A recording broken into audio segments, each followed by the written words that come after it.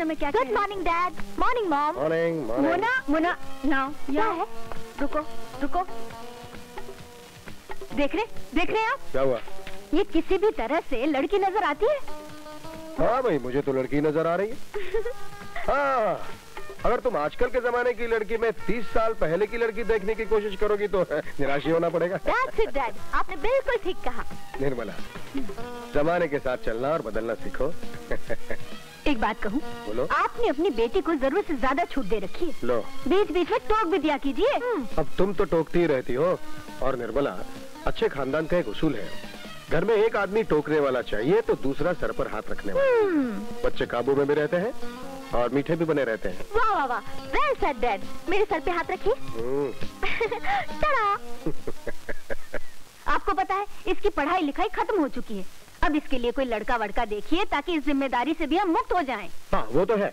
इस बारे में मैंने अपने कंपनी के मैनेजर गोपाल दास जी से बात की है। नमस्ते मालिक।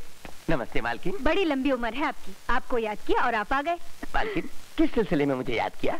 मोना के लिए एक अच्छे लड़के की चिंता है हमें।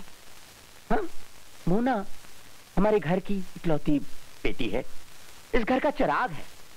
उसी से तो इस घर में रोशनी अब मोना ही चली गई। तो इस घर में तो अंधेरा छा जाएगा।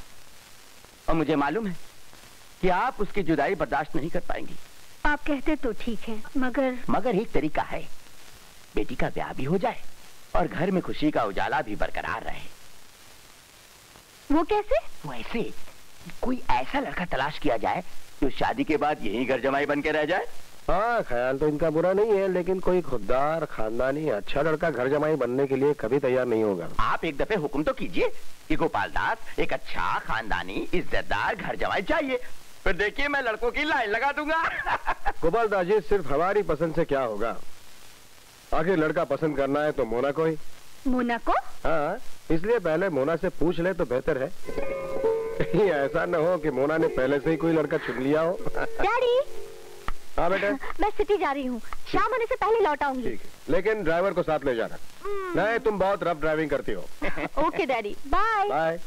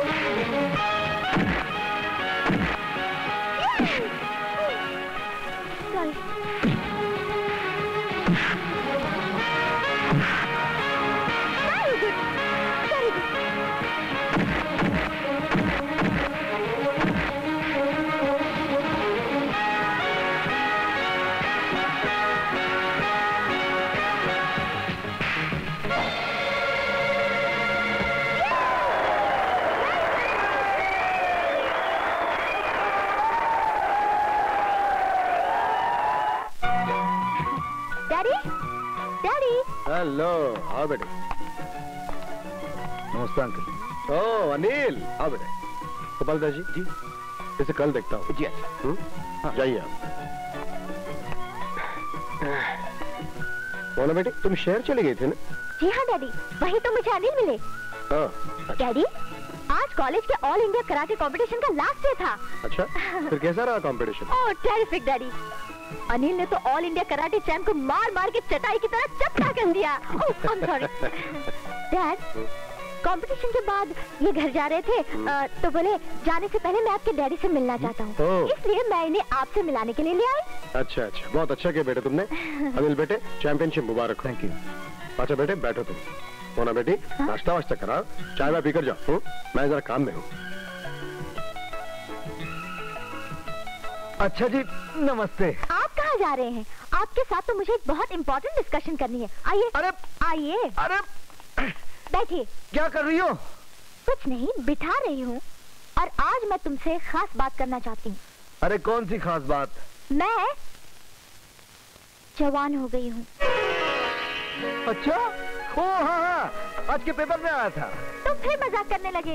अरे तुमसे किसने कह दिया कि तुम जवान हो गई हो? मुना लड़की जवान होती है ना तो उसे अकल आती है। अकल आती है तो लाज आती है। और ला जाने के बाद कोई लड़की किसी गैर लड़के को इस तरह डाकू की तरह ज़बरदस्ती उठाकर नहीं लाती। तो क्या करती? मजबूरी थी। घर में मेरी शादी की बातें चल रही हैं। तो मुझे क्यों उठा कर लाई? मैं क्या तुम्हारी शादी में बैंड बजाऊँगा? हम्म। तुम मेरी शादी में दूल्हा बनोगे।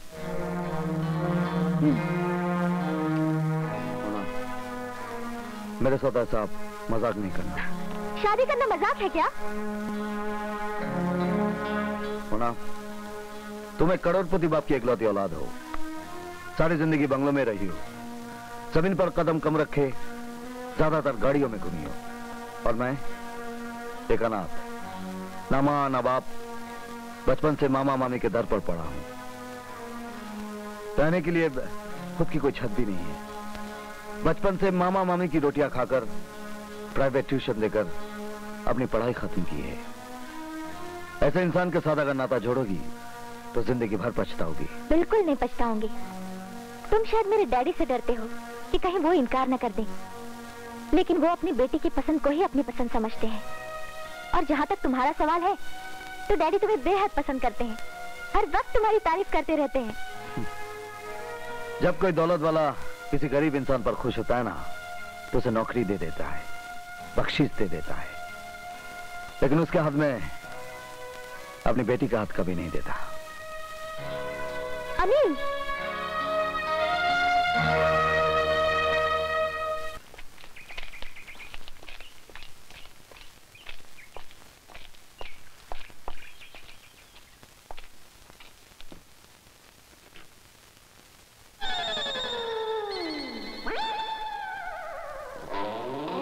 प्रणाम मामा जी। ए, ए, क्या चोरी करा चोरी नहीं मैं तो आपको प्रणाम कर रहा हूँ। ठीक है ठीक है। लेकिन आप क्या कर रहे थे?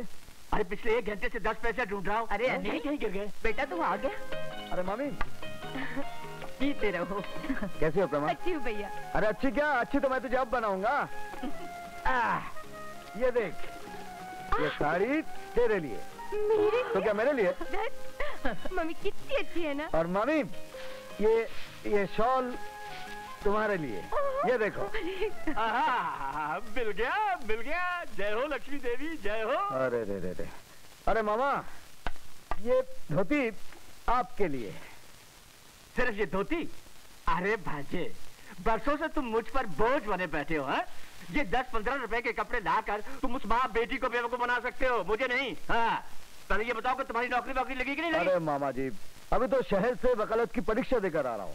जब तक पास नहीं हो जाऊँगा नौकरी कौन देगा? तो तू पास कब तक होगा? कल शाम तक हो जाएगा? कल शाम तक। अरे यूनिवर्सिटी का रिज़ल्ट है। कम से कम दो महीने लगेंगे। आ? दो महीने? अरे सुनती हो? दो महीने बाद जाकर इसकी परीक्षा का रिज़ल्ट निकलेगा। हाँ। फिर जाकर इसे नौकरी मिलेगी और फिर एक महीना गुजर जाएगा। उसके बाद घर में पगार आएगी। इसका मतलब है तीन जब तीन जब तीन यानी कि नब्बे दिन में यानी कि तीन महीने में आठ सौ दस रोटियाँ खाएगा। उसके बाद सब्ज़ी और भाजी अलग दो वक्त की चाय अलग। अरे मैं तो बर्बाद हो जाऊँगा ना। ऐसी बातें करते हो जी? आपने कभी अनिल के लिए कुछ किया है? आपको तो इस बात की भी परवाह नहीं कि परिवार के लिए भी आपका कुछ कर्तव्य है। पत्नी गई जहन्नुम में लेकिन बेटी के लिए कम से कम एक बाप का कुछ फ़र्ज़ होता है। हाँ, फ़र्ज़ वर्ज मुझे मत याद दिलाओ। हाँ बेटी का ब्याह करवा दिया, यानी कि फ़र्ज़ पूरा हो गया और किस्सा खत्म, बस। मगर क्या फ़ायदा ऐसे ब्याह का, जो ब्याह के बाद भी लड़की कुंवारी की कुंवारी घर में पड़ी रहे? यहाँ से उठकर उसकी डोली ससुराल गई नहीं, क्योंकि आपने उनकी मांगे पूरी नहीं की। अरे क्यों करूँ उनकी मांगे पूरी हाँ? डेढ़ दो रुपए की बात होती तो दिल पर पत्थर रखकर उनकी मांगे पूरी भी कर देता। लेकिन उनके भक्तों ने तो गज भर के लिए साथ में समा दी थी। याद है पुलिस पढ़कर एक हफ़्ता भर में बेहोश आता हाँ। आप तो हफ़्ता भर बेहोश पड़े रहे लेकिन लड़की ज़िंदगी भर मैके में पड़ी रहेगी। हाँ तो पड़ी रहे?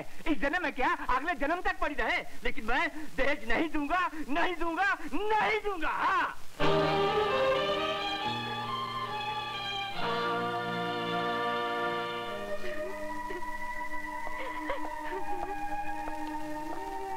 हे पगली हे मेरी पगली बहन तू क्यों रोती है हाँ? तेरा भाई है ना?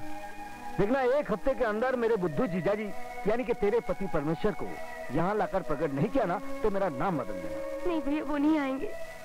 पिताजी उन्हें दहेज देंगे नहीं और बिना दहेज लिए ससुराल वाले मुझे लेने आएँगे ही नहीं। अरे छोड़ना एक हफ़्ते के अंदर अंदर यहाँ का माहौल नहीं बदल दिया ना तो तेरी कसम मैं अपनी जान दे दूँगा। भैया ऐसा मत कहो।